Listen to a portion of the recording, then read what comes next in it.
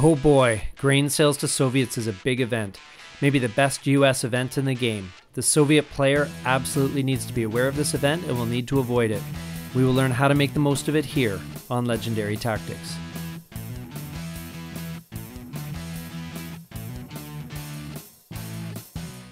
Grain sales to Soviets is a tremendously flexible event, and while it can sometimes be innocuous, it is never bad for the US and it is almost always trouble for the USSR. Let's take a good look at how it should be handled by both players. First of all, the event. Grain Sales to Soviets is a 2-op US mid-war event card. Playing the card for the event allows the American player to draw a card randomly from the Soviet player's hand and either play it or return it. If the Soviet player has no cards or if the drawn card is returned, the US player can take the two ops provided by the card and may conduct operations normally. Please note that to play the card you choose does not mean you must play it for the event, as some people have thought.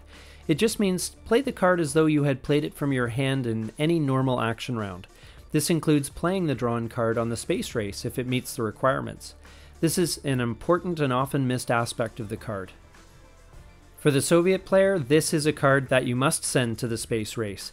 This card is not good for you no matter what the result of the event. People don't normally think of this card as a DEF CON suicide card, but it absolutely can be. Never play this at DEF CON 2. If you trigger the event and the US player uses the operations points provided by the Grain Sales to Soviets card or the card that they draw, a coup in any battleground country will worsen DEF CON to 1. This will cost you the game because the battleground coup happened on your turn, even though it wasn't conducted by you. One would also initially think that you could just hold on to it until the end of the turn when you have no cards left to pull, but don't forget that because with this card the US has the option of taking operations points on your turn, they can do a battleground coup at DEF CON 2 and you have lost the game.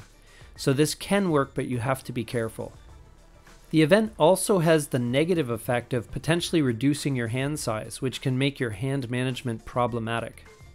For this and other reasons, it is always a good idea to keep the China card around, just for these sorts of contingencies, as it gives you a bit of wiggle room to manage your circumstances. Salt negotiations can be especially helpful in getting rid of this card from your hand, either by increasing DEFCON to make grain sales to Soviets safer to play, or by giving you an extra card in hand so you can hold on to it until a more convenient time.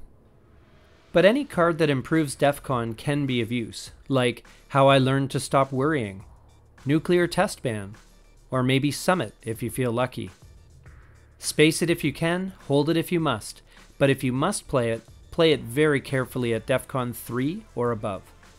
For the US player, rejoice if this card comes to hand.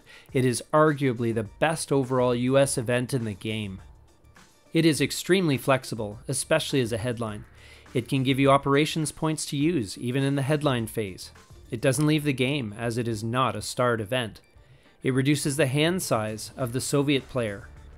It is a DEF CON suicide card for the USSR and there's really nothing you can do to inadvertently mess it up. If the USSR gets it, it is an unplayable card they will have to work around.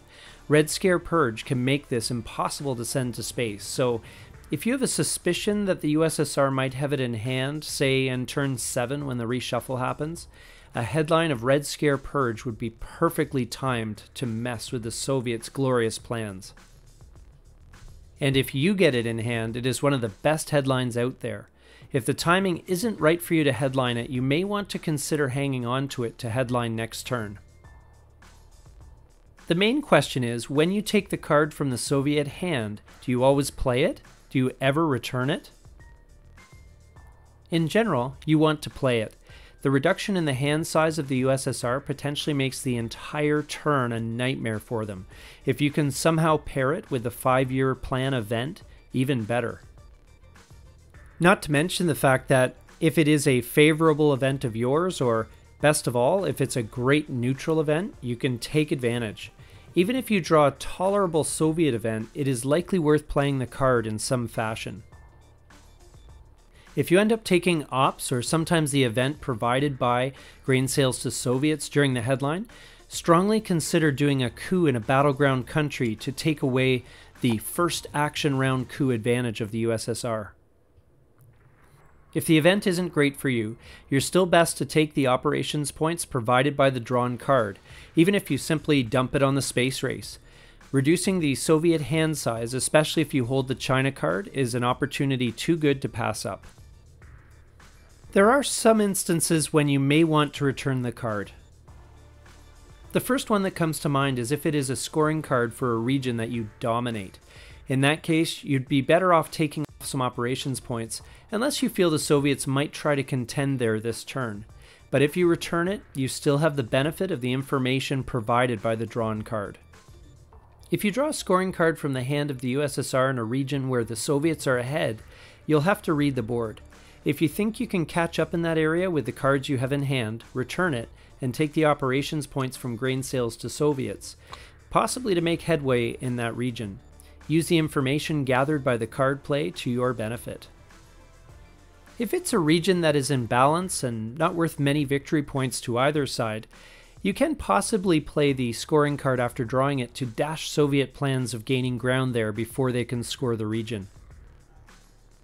You can also return a card if the event you get isn't great and you can really benefit from taking the two operations points provided by grain sales to Soviets right now.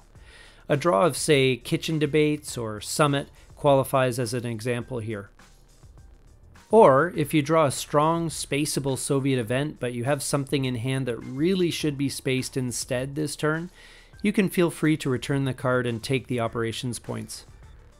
Sometimes there are cards you want to leave in the Soviet hand to give them a hand management headache, like Panama Canal returned, OAS founded, or Sadat expels Soviets.